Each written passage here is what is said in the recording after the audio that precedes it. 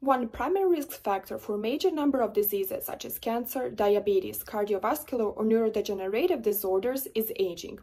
Understanding the underlying mechanisms of this complex process is essential to improve the quality of life by developing new targeted therapies. Current research efforts are focused into investigating transcriptomic changes and the primary focus is on a class of ribonucleic acids called microRNAs.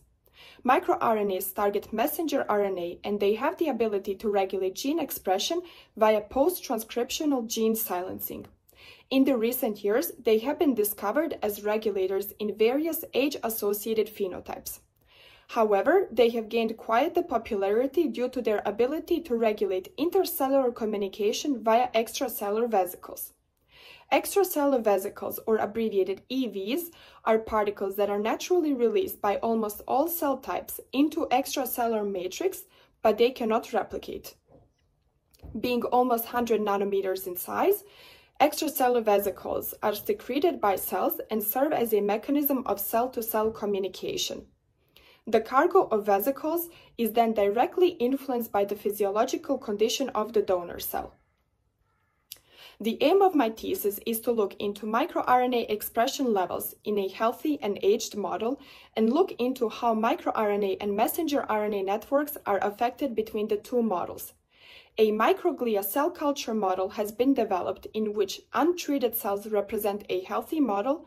An aged model is where we induce cellular senescence. Cellular senescence is known to be a process of deterioration with age in which cells remain metabolically alive, but they have stopped replicating. Once we induce the aging model, we have done several pilot experiments to prove that the aged model exhibits senescence markers, such as low DNA synthesis levels, increased levels of enzyme beta-galactosidase, as well as amplification levels of several target genes, which are known to be related with senescence. Once we induce the aged model, we can isolate the vesicles and look into the microRNA content using bulk RNA sequencing. RNA sequencing is a type of next-generation sequencing which is highly accurate as it can detect genetic variations in even very low frequency. In the end, using specialized computational analysis, we can look into microRNA and see which of them are affected between the healthy and the aged model.